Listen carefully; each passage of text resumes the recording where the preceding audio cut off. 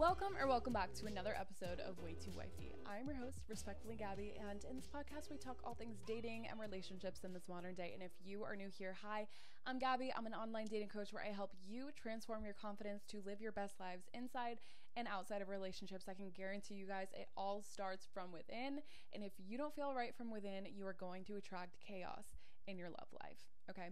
So if you've ever thought about coaching, just curious about it, hit the Stan link in my bio. I have discovery call that you can book, ask all the questions that you want, do an eight week transformation program.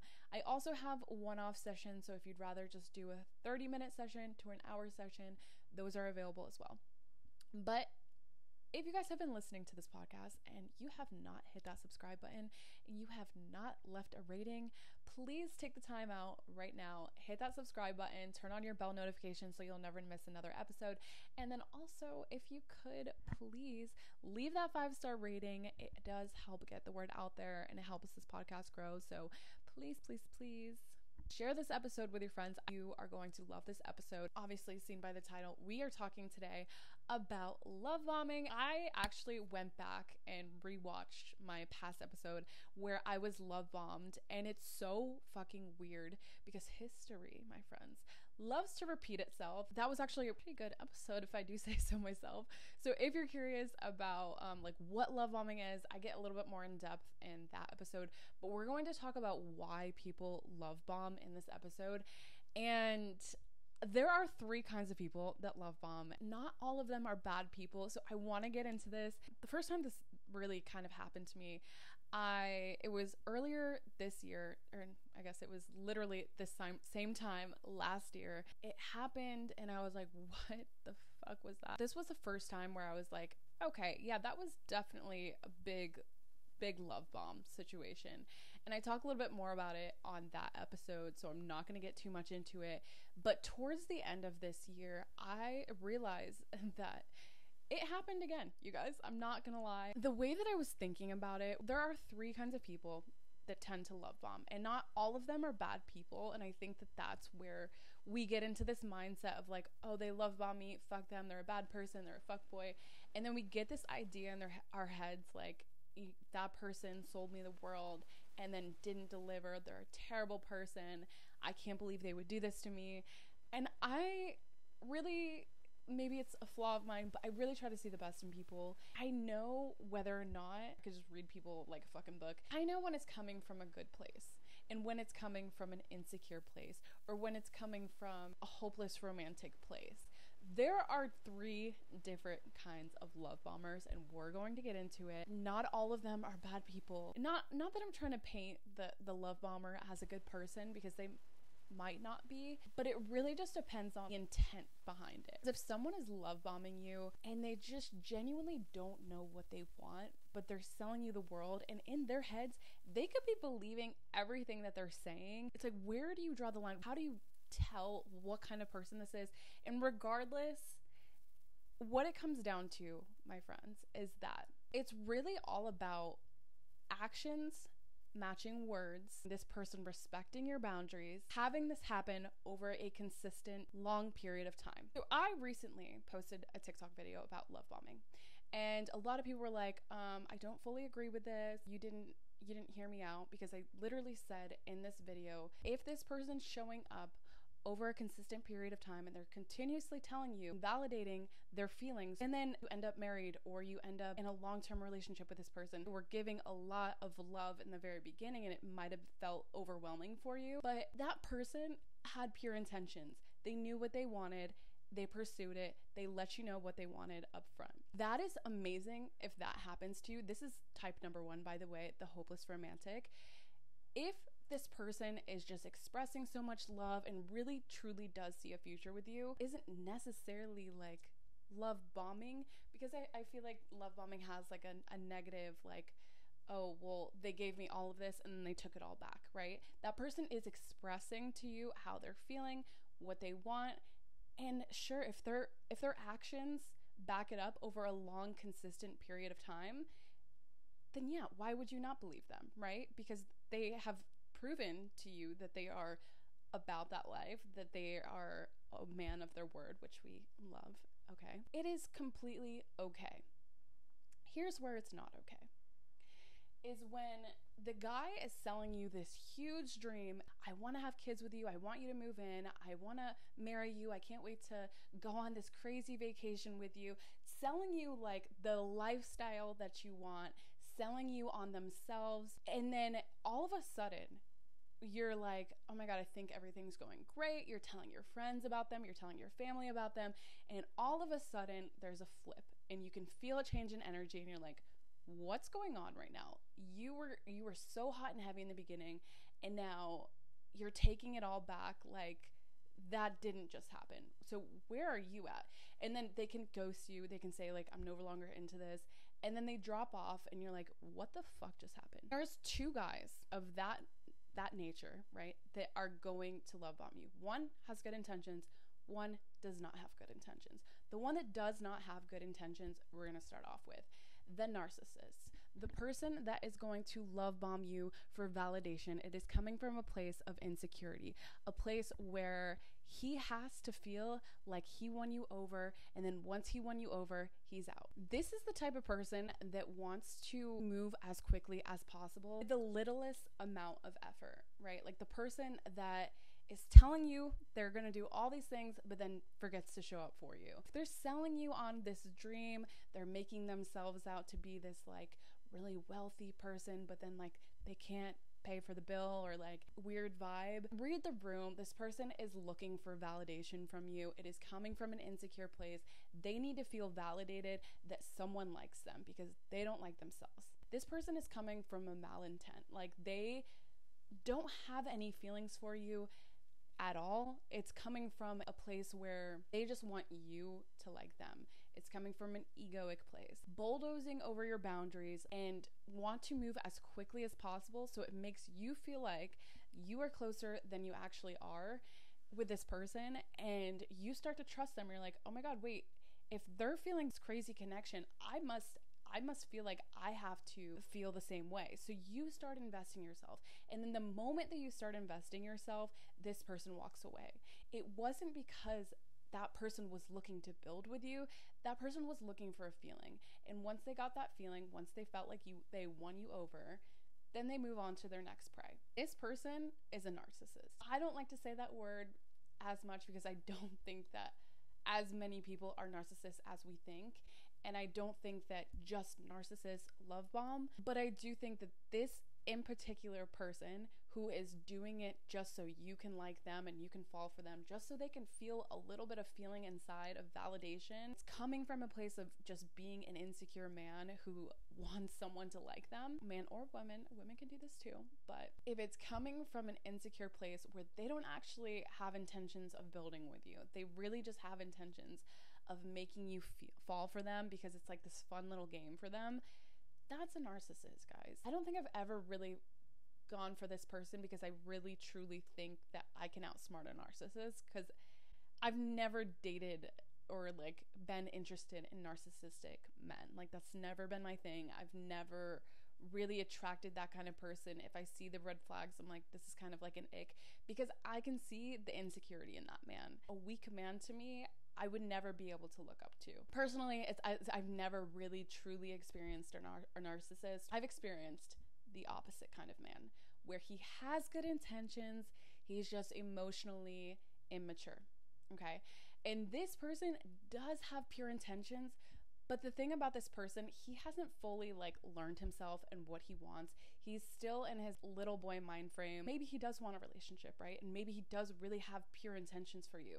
But if he's moving so quickly, that flame is going to typically, more often than not, burn out quicker than it started. I, I truly, truly feel like a, a guy who's stable and like mentally well isn't going to promise you the world and then underdeliver. People that promise the world always underdeliver. If you're in the beginning phases of dating and he's telling you like I can't wait to marry you. I love you. I want to have your kids. Like I can't wait to like have Bobby and Susie making you paint the picture of what your future is going to look like together when you don't even feel like there yet. This type of person typically comes from an unstable or abusive relationship or parental kind of like figure. If you look back, I always when these types of situations happen, I have nothing but love for the person that did this to me recently and also in the very beginning of the year because I know that they have pure intentions. I just don't think that they were far along in their own healing journey and also like knowing what it is exactly that they want. Yes, I let this happen very quickly. I could have slowed down the pace, but I allowed it to happen. So it's also partially my fault as well. These types of people, I always look back of like where did they come from? What what types of relationships were they in?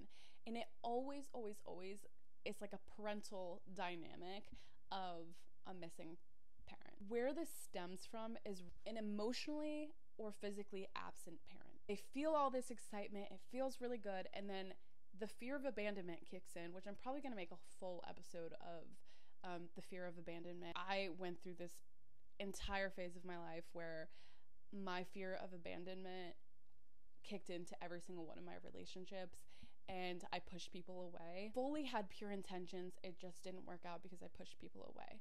And I really think that this this is where this is coming from because if they're coming from an abusive or unstable past relationship or parenting, the they're going to feel like the next person that comes along has to be their person. They have to be the one. So what they end up doing is they fast track the relationship to get to know all of the things out of the way so they can tell right then and there if this person is their person. But the problem with that is that if you're moving way too quickly, you're missing the whole foundation of the relationship. You're not being present. You're not fully getting to know that person because it's like, okay, let's quickly move through all these boxes and see if see if we can continue this like really high level intense connection. And when the connection isn't as intense after weeks or months, it feels like the relationship died out. And it feels like, okay, well, I'm not feeling the same way that I felt. Instead of slowly working your way up to that and actually have like substance of why you feel that way for this person. Once that spark, once that flame burns out, it's like, I think I'm good here, you know? Like, I think that I can move on. I'm bored now. I'm ready for the next thing. If the relationship isn't on steady grounds, like steady, stable grounds, it is going to crumble.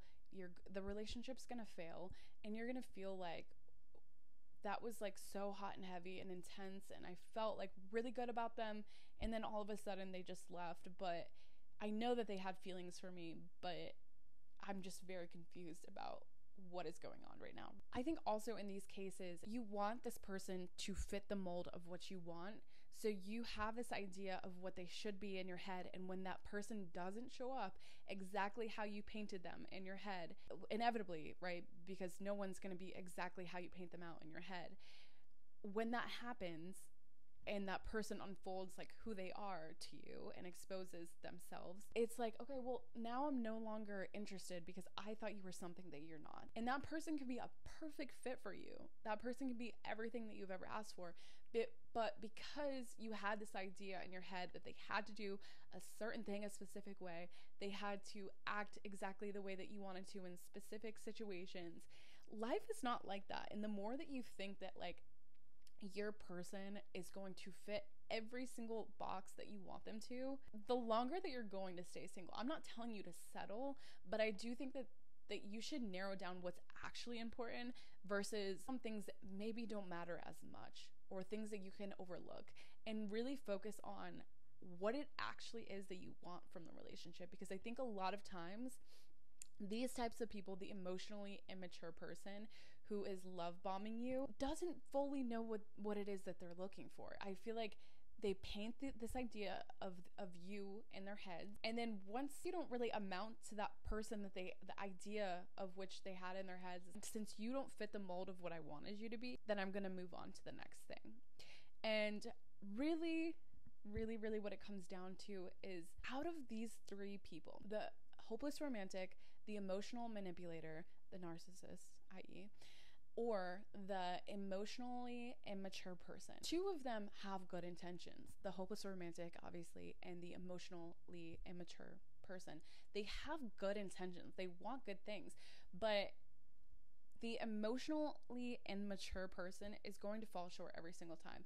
They're going to continue, and I know because I have been in this situation where I've been emotionally immature in the past, and continue to attract rela- relationships. And if I didn't have this crazy connection with that person in the very beginning, then I would get bored. Instead of building a foundation with someone, working your way up to an actual relationship and seeing how that plays out, getting to know them slowly and day by day instead of like we have to know everything about about each other right now in the first 2 weeks and then after the 2 weeks is over you're like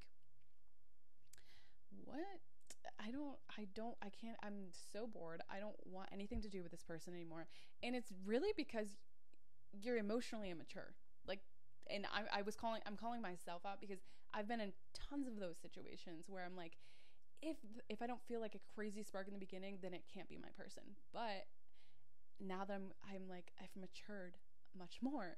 I'm like Gabby, that's not what a real relationship. Like yes, you might feel a crazy like crazy connection in the beginning, then that could be your person. But taking it slow and really like getting to know someone instead of rushing to get through all of the pieces, I really can't be mad at, at that that person because I know I know that it came from a good place, right? That emotionally immature person is going to stay single until they realize what it actually is that they're looking for in a relationship. And I can guarantee you of that. Last but not least, the emotional manipulator. You're going to feel like you have been swept off your feet with that one and then feel like fucking shit afterwards once they leave you and move on to the next or ghost you or whatever the case is. Just know that it is coming from a wildly insecure place. That person is so sad and seeking so much validation from people that you should feel bad for them. Okay. I'm not trying to paint them out to be like a bad person or a good person or whatever. They just haven't healed. And some people just are like that. They're never going to change, and that's who they are. But accepting situation for what it is, if they can't follow it up with actions over a long period of time and proving to you that they actually mean those things, then it's probably not going to work, right? If they're telling you uh, these crazy accusations in the beginning of I want to get married, I want to have your kids, blah blah blah, take that information in one ear, out the other because regardless if this person really really really does mean these things, it doesn't it doesn't matter because you, my friends, are going to take it slow. You're going to get to know them, you're going to set the pace, and that's how we're going to be moving forward. You can't believe anything that anyone says in the very beginning if their actions aren't matching up over a long period of time. Don't get too attached to someone in the beginning to where you're like, oh, okay, like I'm this person said that they're going to marry me, so that now I have this idea in my head and I've already planned out our wedding in our head. I've already named our kids. I've already done all the things. Stop with all that. If someone is telling you in the very beginning that they are so in love and blah blah blah, take what they're saying with a grain of salt. Could be real about it, they could not be real about it. But what you will find out is over time, if you really, really watch them and their actions, you are going to get your answers. You're going to feel so much better that you slowed the pace down and actually allowed yourself to see the situation for what it is because the moment that you attach yourself, you're going to get yourself hurt. In any of these situations, the moment that you attach to that idea of this is the one, this is my person, and then they leave, you are going to get yourself hurt. And if they end up staying, then amazing. But you're going to be really happy that you didn't attach yourself in the very beginning. What you got to understand is that if he's saying all of these things and he doesn't even really know you, you can't actually trust what's coming out of his mouth. Okay, so listen if you want, but also throw throw the idea out the window. If it happens, it's gonna happen. If it doesn't happen, you didn't get attached and you'll be fine anyway, and you'll find someone who actually means the words that are coming out of their mouth. But that is it for this week's episode. I really hope that you enjoyed. I really took a lot of time to think about these things. So if you could, please leave that five star rating, hit that subscribe button, and turn on your bell notifications so you'll never miss another episode. And I will see you all next Tuesday.